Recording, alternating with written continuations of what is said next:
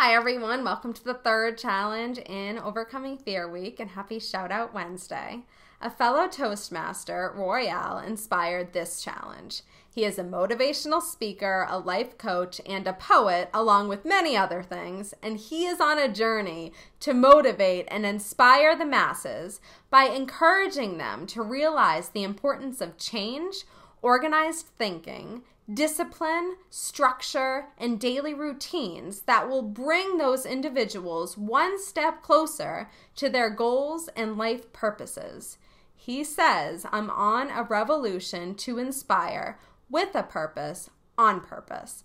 He focuses a lot on overcoming fear and how that can transform your life and he posts many inspirational quotes. And I added all of his information in the description below, so definitely check him out. I was looking through some of his quotes recently, and one popped out at me, so I thought it might be good for this challenge. The challenge is to not take something personally.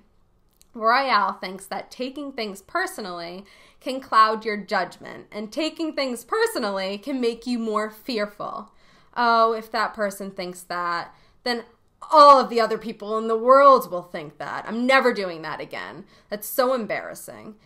You won't please everyone. Not everyone will like you. And you will most likely be criticized at times, especially if you're going out of your comfort zone.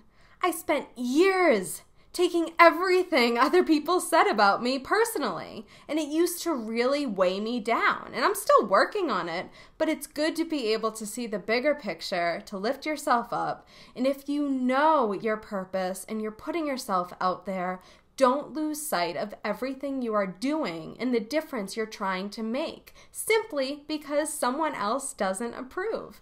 Don't take it personally and move forward. Have a wonderful day, sending positive vibes your way from the Purposeful Challenger.